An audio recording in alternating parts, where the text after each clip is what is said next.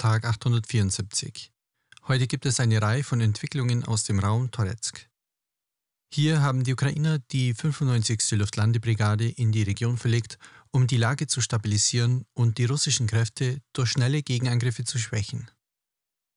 Das Hauptziel der Russen besteht darin, die Frontlinie zu begradigen und eine zweite Vorstoßachse in Richtung Kostjantinivka zu eröffnen, um den stagnierenden Angriff auf Chasivjar zu unterstützen.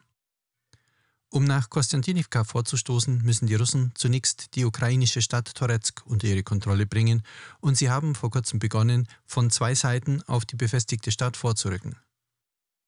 Da die Russen jedoch noch keine großen Reserven in die Region verlegt haben, sind die beiden russischen Einbrüche bei Pivnitschne und New York wahrscheinlich keine geplanten Offensivoperationen, sondern eher opportunistische Schläge nach einer gescheiterten ukrainischen Brigaderotation.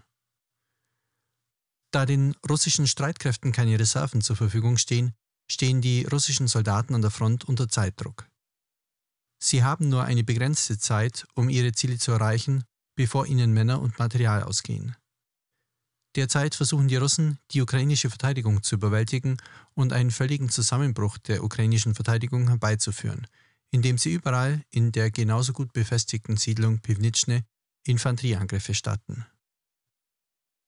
Die Russen haben außerdem eine groß angelegte Bombenkampagne auf die Stadt gestartet, bei der sie Gleitbomben, thermobarische und konventionelle Artillerie einsetzen, um ukrainische Stellungen am Rande der Siedlung und des Hochhausviertels zu beschießen.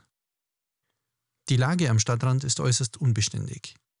Russische und ukrainische geolokalisierte Aufnahmen zeigen, dass beide Parteien in demselben Gebiet aktiv sind, wobei es den Russen manchmal gelingt, den Stadtrand zu erreichen, aber auch hier werden sie schnell ausgeschaltet. Um die Lage zu stabilisieren, wurde die ukrainische 95. Luftlandebrigade, die von der ukrainischen Führung häufig zur Stabilisierung kritischer Situationen eingesetzt wird, als schnelle Eingreiftruppe angefordert, um einen Gegenangriff durchzuführen und russische Angriffsgruppen aus der Siedlung zurückzudrängen. Das erste Ziel der 95. Brigade bestand darin, die Russen aus dem nördlichen Außenbezirk von Pivnitschne zu vertreiben, da der Süden durch das Hochhausviertel geschützt war und die russischen Angriffe im Norden das dringlichere Problem darstellten. Die Brigade veröffentlichte eine Vielzahl von geolokalisierten Aufnahmen, die ihre Kampfhandlungen dokumentieren, als eine ukrainische Drohne russische Angriffsgruppen dabei filmte, wie sie in Häuser am Stadtrand vordrangen. Die Ukrainer feuerten sofort mit Artillerie auf die Gebäude und stoppten den russischen Angriff.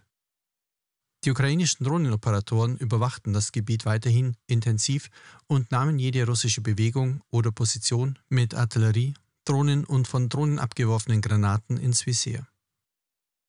Nachdem die russische Präsenz in den Außenbezirken auf nahezu null reduziert worden war, bestand der nächste Schritt darin, die russischen Stellungen im sogenannten Arm von Pivnitschne zu eliminieren.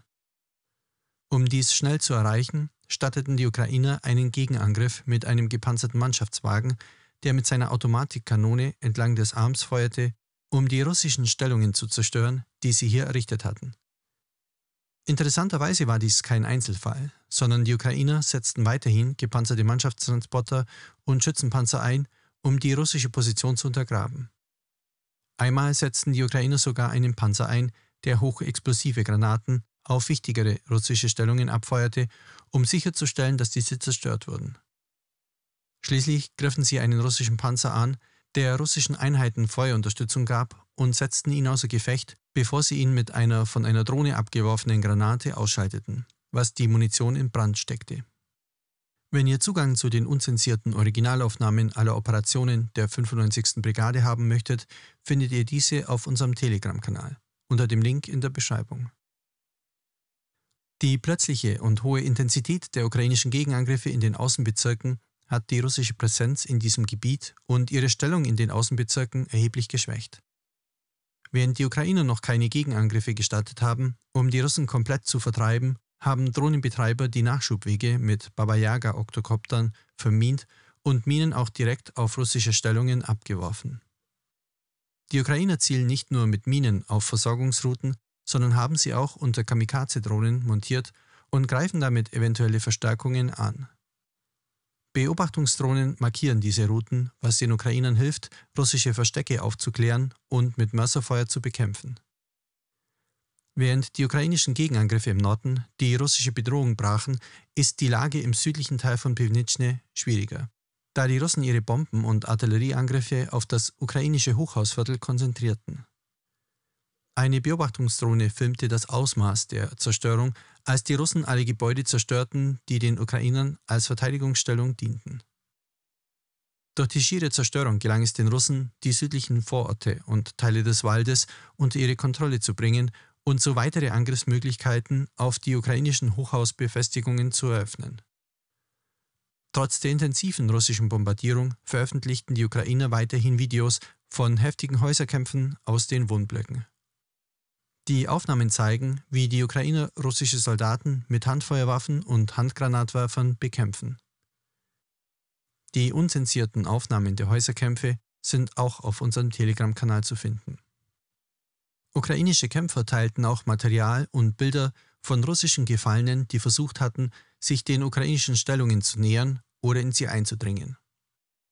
Geolokalisiertes Filmmaterial zeigt, dass mindestens eine russische Angriffsgruppe es bis zu den Wohnhäusern geschafft hat. Zum Pech der Russen eröffneten die Ukrainer sofort das Feuer auf die russischen Soldaten mit Artillerie, wodurch viele von ihnen außer Gefecht gesetzt wurden. Die Ukrainer schickten dann einen Panzer, der die Aufgabe mit hochexplosiver Munition erledigte und die Reste der russischen Angriffsgruppe zerstörte. Insgesamt lässt sich festhalten, dass die Russen unter dem Mangel an Verstärkung in Pivnitschne leiden und bald nicht mehr in der Lage sein werden, ihre Offensivoperationen aufrechtzuerhalten. Die ukrainische 95. Luftlandebrigade wurde in das Gebiet verlegt und führt in den nördlichen Außenbezirken rasche Gegenangriffe durch. Dadurch wird die russische Stellung erheblich geschwächt und die Logistik der Russen ist stark beeinträchtigt. Währenddessen konzentrierten die Russen ihre Bombenangriffe auf den Süden, rückten leicht vor und eröffneten weitere Angriffswinkel auf das Hochhausviertel.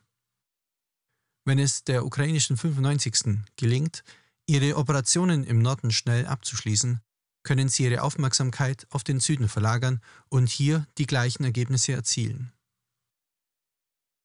Wenn ihr gegen die Invasion der Ukraine seid und unsere Arbeit unterstützen wollt, solltet ihr einen Blick in den Onlineshop UA Supporter werfen.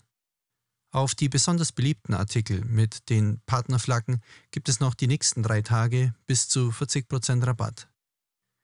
Der Link zum Shop befindet sich in der Beschreibung. Vielen Dank fürs Zuschauen und bis morgen.